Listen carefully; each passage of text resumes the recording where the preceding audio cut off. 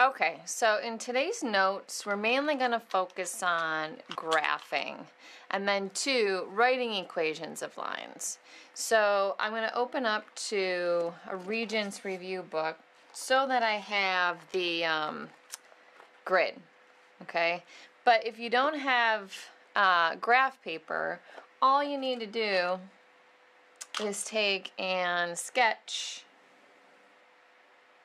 a Y and an x-axis. Okay, I, I'll do a couple on actual graph paper just so you're reminded on how to do this.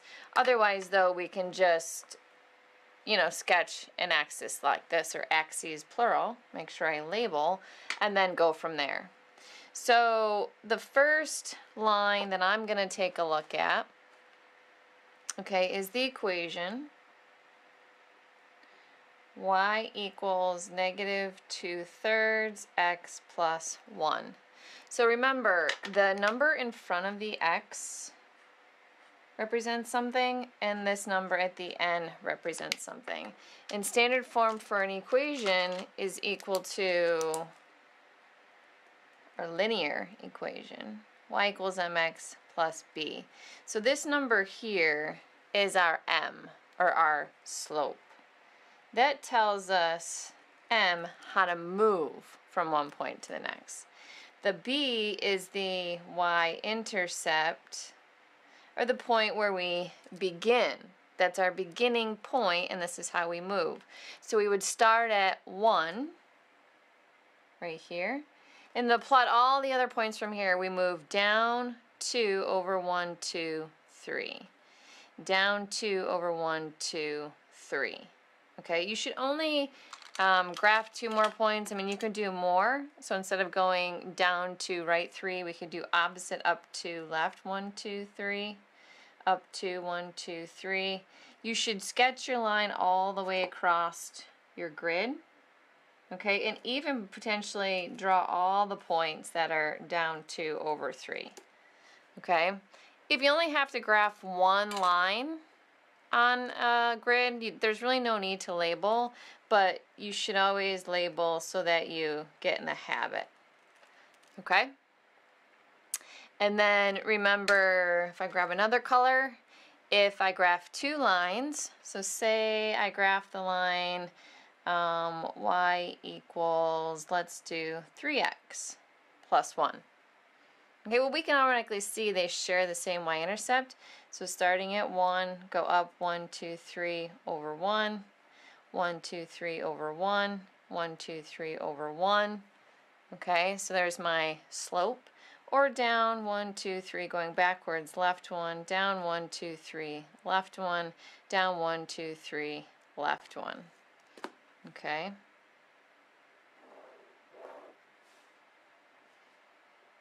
Now in this case, um, we'd want to label both lines. So this is y equals 3x plus 1. Now if you had a question that said to solve this system, and it gave you these two equations, right? If it said to solve, then your answer is going to be the point of intersection. So this point is 0, 1. Okay, when we did this by hand in the last, in the previous day, in the last video, you can label, we solved this algebraically or by hand, so you can write it as a point, but remember we can also say x equals 0 and y equals 1.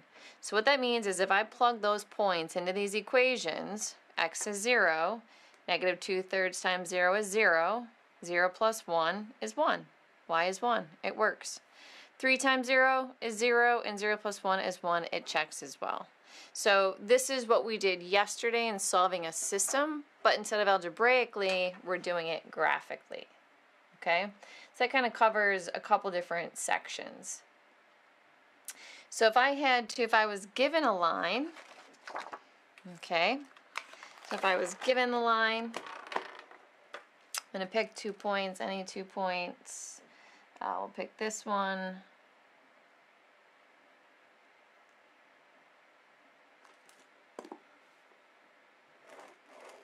Okay, so here's our given line, and you had to write the equation. Well, the first thing you want to do is to state the slope, or the m. So we can see here we're going down 1, 2, 3 over 1, down 1, 2, 3 over 1. So down 3 over 1.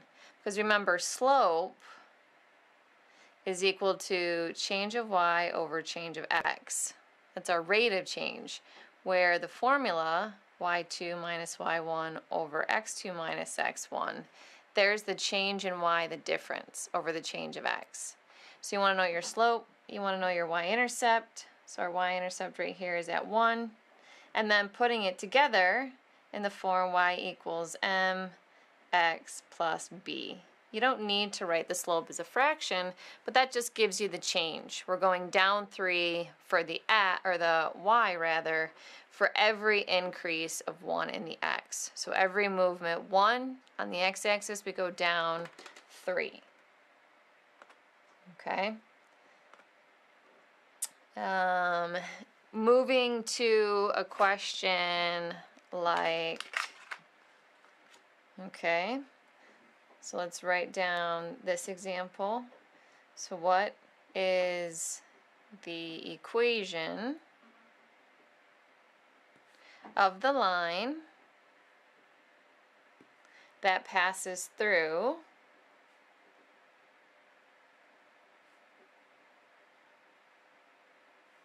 the point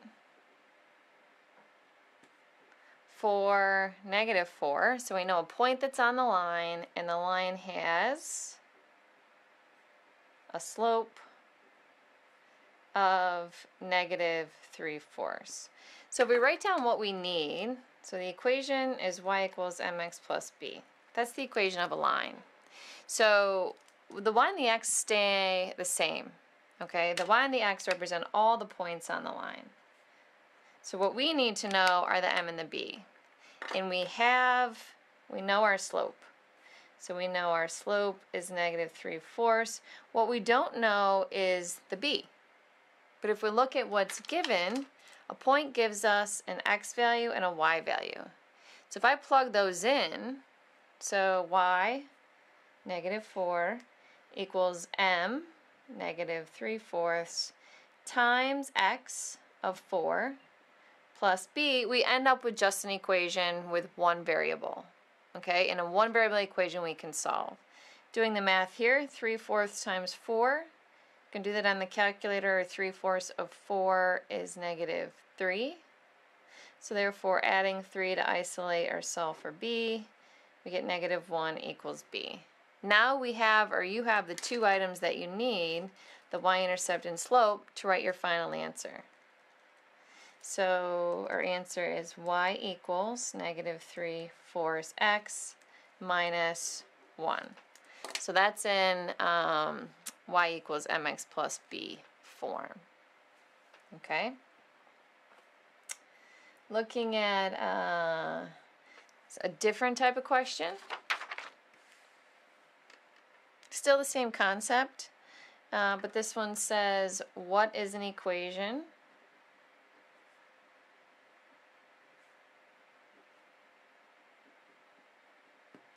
of a line, or of the line, that passes through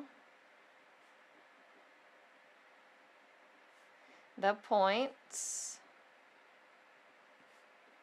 0, negative 7, and 5, negative 1. And it says put your answer in fully reduced form. Well, the first thing we need to do is calculate the slope. So remember, that's y2 minus y1 over x2 minus x1. So here are the y values. So we're going to do negative 1 minus negative 7 over 5 minus 0. Okay, we take the second one, subtract the first. Second, subtract the first. Remember, when you subtract a negative, that turns positive, so we end up with 6 fifths. Okay? And if we look closely, we can see that we're given the y-intercept. Okay? That's not always the case, so I'm going to do it as if I wasn't. Then I calculate the b by doing y equals mx plus b. And you can plug in any point you want, so I'll plug in this one. Okay, so negative 1 equals 6 fifths times x plus b. So we should get this point. That's why I plugged in this one, because we should get a y value or y-intercept value of negative 7. So negative 1 equals 6 plus b, and I hate b's actually because my b's look like 6's. Subtract 6, and we get our y-intercept is negative 7. So putting it all together, the equation is y equals 6 fifths x minus 7. And we did get it checked. We did get the same answer. Okay. Our next section, um, graphing linear inequalities. So I'm going to go back to the Regents book. Well, actually, no, I'll do this by hand because you may not all have graph paper. So we're going to graph. So y, x, we're going to graph the inequality. So y greater than or equal to negative 4 thirds x minus 7. Okay, so we start at negative 7. So down here at negative 7. And from there, okay, we're going to go down 4 over 3. Well, since I can't go down 4 over 3, I'm going to go up 4 over 3, up 4 over 3, up 4 over 3. Now, I don't know, right, I'm sketching this not on graph paper. So I my points didn't even line up. So I'm going to make them bigger. So I know it looks like this. And I know key thing is it's going to hit the y-axis at negative 7. And I also know that I go down 4 over 3 in order to graph with our slope. Okay? But now because of the inequality piece, we're going to shade. So I always like to test a point. 0, 0 because that's the easiest point to do the math with. Test a point by plugging it in is 0 greater than or equal to, well, negative 4 thirds, because anything times 0 as well is also 0. So is 0 greater than or equal to 0 minus 7? So 0 greater than or equal to negative 7, this is true. Okay, so I'm going to make note that we test the point 0, 0 to know where to shade because that's true, we're going to shade on a couple different things too that I should have paid closer attention to, but I, or I need to speak about, is I knew it was a solid line because of the greater than or equal to. If it's not greater than or equal to, so let's write solid line, and down here we want to shade, because it was true, where 0, 0 is. But if it wasn't the greater than or equal to, then we would have a dotted line here. So let's shade. We're going to want to shade where, right, it's equal to. So there's the inequality. We typically graph, right, or shade or label right in our shaded area. So the next thing I'm going to do is um, let's add an, uh, an inequality to this, and let's add a um, dotted line. So let's add y, uh, let's do greater than, uh, let's do 2x plus 8. I'm just making it up. So starting up here at 8, right, we graph up 2 over 1. So up 2 over 1, up 2 over 1, down 2 over 1, down 2 over 1. And this is going to be a dotted line.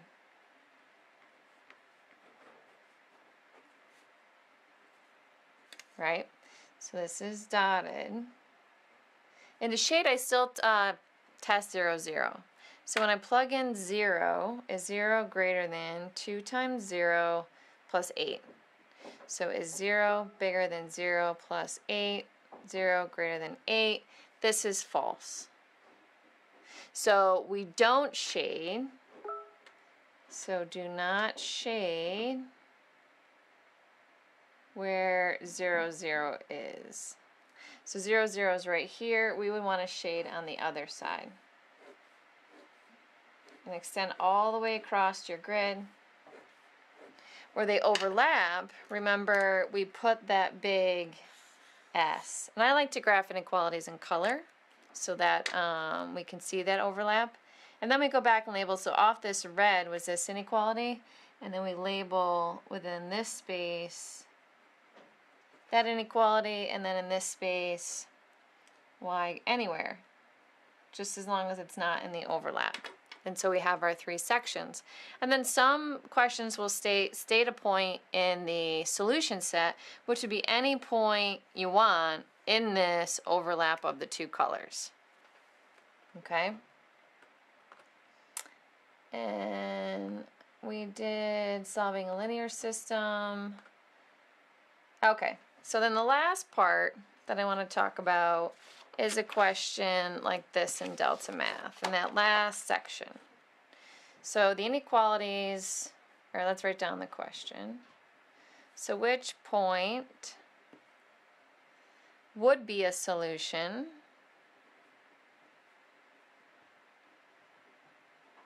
to the system of linear inequalities shown below.